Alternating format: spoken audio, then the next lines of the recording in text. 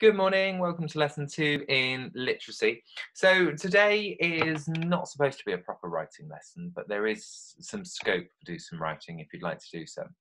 So we're continuing with the story of the two frogs, which if you need a reminder of, you can rewatch lesson one yesterday where I read the story.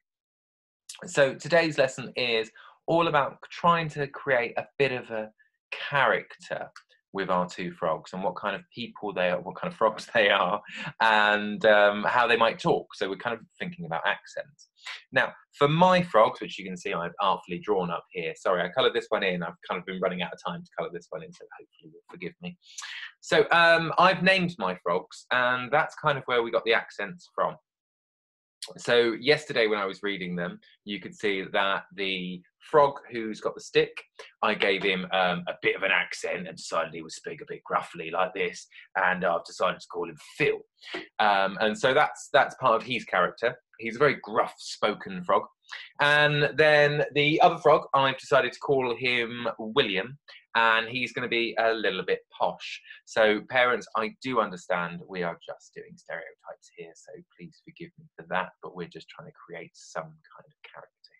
Okay, so um, I thought there's, there's two ways you could do this. You could just kind of pretend with your mum, um, your dad, your adult at home, and one of you could be the slightly more gruff frog, and one of you could be the slightly posher frog if you want to, or you could always make them northern if you want to. Um, and you could just role play a conversation. Um, but I thought maybe time wise that might be a bit difficult for parents if you're working from home. Um, but it would be fun, it would be great to do. Um, and you could always film those and send them back to me. I don't see why I should be the only one making videos. Um, but today I've, I've written a bit of a script for them.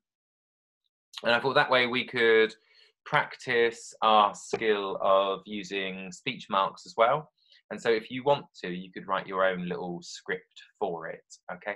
So I'm gonna start off right at the beginning and I'm gonna start with William speaking first, so I want the blue pen first. And William is going to say, Philip, why? I'm sounding a bit more like the Queen now. Give me a second, I'll get that accent right. Philip, why do you have that stick.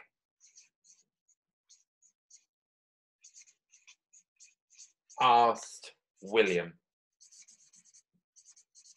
And I almost want to give him another name and kind of call him William the Randolph the Third or something like that. I realized you can't see all of that writing. There we go. Okay, now because I've used speech, I'm going to have to use speech marks. So um, Philip why do you have that stick? asked William. So I know straight away my speech marks are going to start with the beginning of Philip. And then, Philip, why do you have that stick? So this is a question.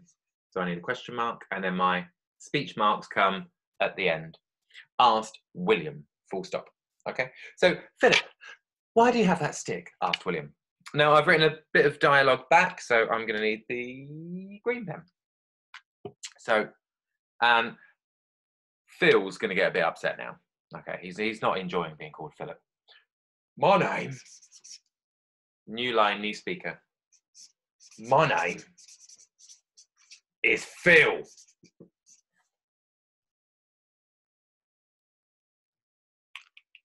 My name is Phil.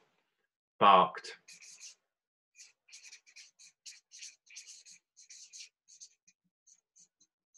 barked Philip. So let's make sure we're still annoying him as we go along. So I don't call you Will. There was an opportunity there. I turned it down. I don't call you Will, do I? Barked. Well, we've already got barked, so let's say he said gruffly.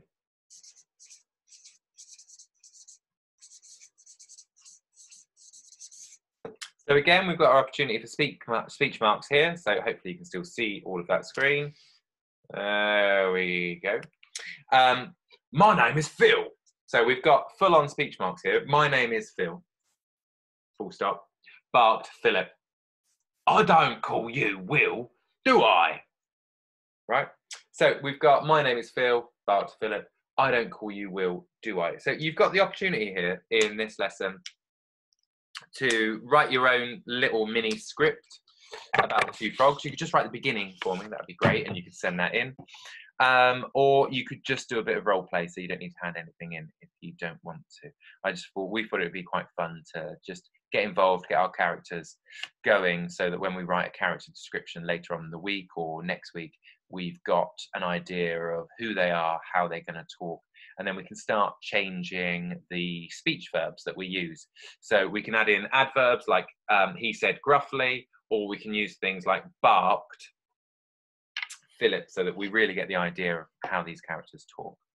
Okay, so um, I would love you to um, send those in. If you're just going to do the role play, that's fantastic. It's absolutely fine. You don't need to let us know that's what you're doing. And um, you can find the worksheet for this on Google Classroom. You can find it on the website, and you will already have a printed one if that's what you've already asked for. Okay, have a wonderful day, and um, I'll see you soon. All right, bye bye.